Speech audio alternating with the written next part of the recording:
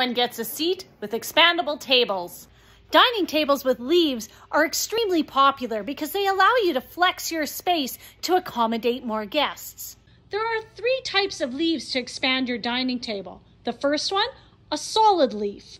Solid leaves are an older style and often found on tables with very large aprons. Solid leaves usually need to be removed completely from the table, although there are a few that allow for storage underneath with difficulty. Benefit of a solid leaf is that there is no seam in the middle like you would find on a butterfly leaf.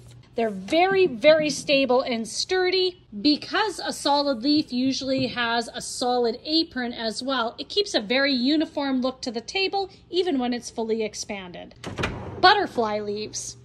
This style of leaf is probably the most popular right now as it is super easy to use. Butterfly leaves take minimal effort and can be done by one person, making it even easier for expanding your table when you need it. And butterfly leaves can be added multiple places in a table like you're seeing here on each end. And you could even have one more in the middle if you wanted to in this style of table.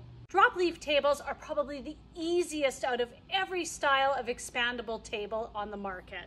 You simply push the support in, drop the leaf, or lift the leaf and pull the support out. Just that easy. Drop leaf tables have the advantage of literally being able to change shape, going from, say, a round like you're seeing here to just the square that you're seeing in the middle. They can also be put flush up against a wall to save even more space. Solid leaf, drop leaf, or butterfly leaf, any one of these three will expand your ability to host more people.